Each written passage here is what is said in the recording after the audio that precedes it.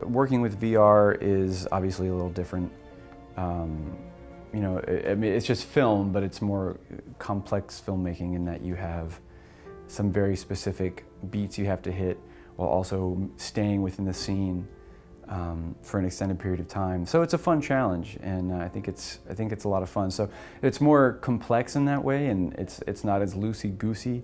The same challenge for theater. I mean, a lot of a lot of people grow up doing theater, and I'm, I'm no different. And so it, it's fun to kind of like go back to that because you can't cut. It's a one elongated scene, and so it's kind of the excitement of like, oh wow, you can actually film theater, but do it in like a professional you know, eye-popping way. We have really long takes and we don't do much coverage or close-ups. So we rehearse more for VR than we would for um, an actual film, in my experience. Uh, well, I think one of the major differences is there's no audience in the room with us.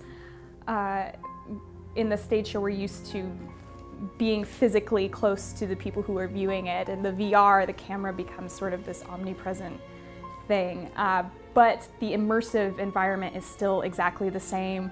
On our first day of shooting, when I was you know, waiting to like make my first entrance into the, the world, all I kept thinking was, it's delusion. It's, it's, it's the universe. Just tell the story like you would in, in the show, because it's the same sort of feeling, the same sort of intimacy as the stage show, for sure.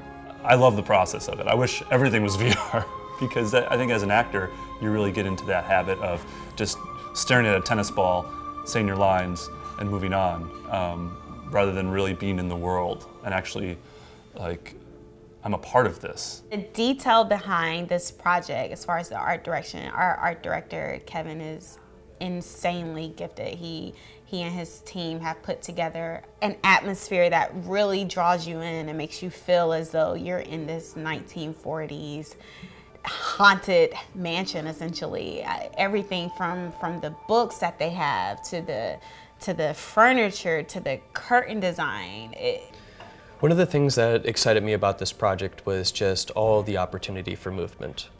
To not embody the camera as a person and not have them in any way tied to the narrative, but you're kind of lingering in between the space of what I would like to say, you know, a ghost in this manner, since there's a lot of that kind of going on. But it's a combination of that and a fly on the wall, where it's purely observational, but we are giving you moments with certain characters, sliding over and giving you the moments with the other characters rather than kind of staying stationary and just kind of watching things from a distance in the room.